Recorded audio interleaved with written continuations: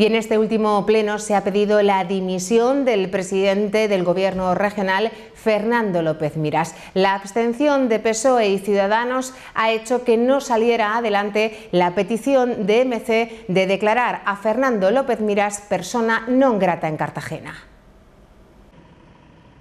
Sus declaraciones afirmando que consideraba un disparate decir que la falta de un servicio de hemodinámica 24 horas en el Hospital de Santa Lucía influía en la mayor mortalidad de infartados en el área 2 de salud han provocado que el Pleno del Ayuntamiento pida su dimisión. Una propuesta de Cartagena sí se puede, aprobada por todos los grupos menos el Partido Popular. No se puede hacer unas declaraciones tan tremendas diciendo que es un disparate, que no es necesario el servicio de hemodinámica a tiempo completo en Cartagena.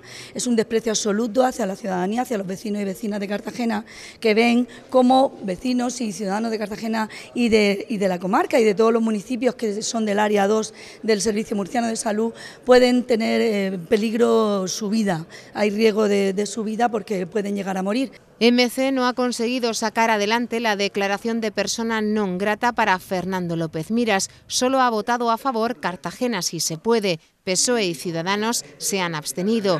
El PP ha votado en contra. Si el señor López Mira lo tiene bien entenderlo, lo que debe hacer es o irse a su casa o darnos el placer de pegarle nosotros la patada en el culo a través de las urnas el próximo, el próximo 26 y si es posible, pues que mm, hiciera lo posible por no volver a pisar estas calles de Cartagena, al no ser que pida perdón, eh, mm, pero de, veras, un perdón de veras a los cartageneros. No se puede decir lo que ha dicho y quedarse a, a presidir esta, esta comunidad autónoma. Sí ha salido adelante la petición de De reprobar al presidente regional, también con el voto en contra del PP. Que se tiene que dar cuenta que lo que dijo fue una barbaridad y lo que afirmaba, que la gente tiene derecho a ser asistida cuando se ve en riesgo de, de irse al otro barrio y que no puede elegir hora, eso te viene cuando te toca.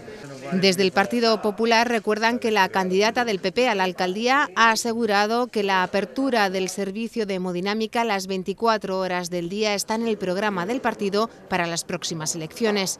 Yo creo que no hay que hacer mayor polémica de algo que es lógico, y lo ha dicho nuestra candidata Noelia Arroyo, que es algo fundamental para nosotros, que el servicio de hemodinámica pues se corresponda con una ciudad y con un área de salud como el que, el que tenemos y por tanto es lo que vamos a defender, que nadie intente coger la bandera de la sanidad cuando en estos cuatro años, aparte de bueno, algunas peleillas que pasarán en la historia, pues eh, no ha sido una legislatura que se haya caracterizado por los logros ni de Castejón ni de López en materia de sanidad. Y la alcaldesa insiste en que se han oído las reiteradas peticiones de su gobierno. Nosotros no, no vamos a decir ahora que la solución es llevarlo en un programa electoral a dos semanas de unas elecciones porque no es creíble. Nosotros vamos a los hechos. Y yo, si por ser insistente, por ser machacona y por ser una alcaldesa que pide lo que necesita su ciudad y más en este área de salud, donde es una cuestión importantísima, con la salud de los ciudadanos no se juega, si por ser tan machacona y tan peleona ha servido para que el presidente de la comunidad autónoma rectifique y diga que se va a poner en marcha, pues yo estoy tan contenta. La unidad de hemodinámica del Hospital de Santa Lucía presta servicio de lunes a viernes de 8 de la mañana a 3 de la tarde.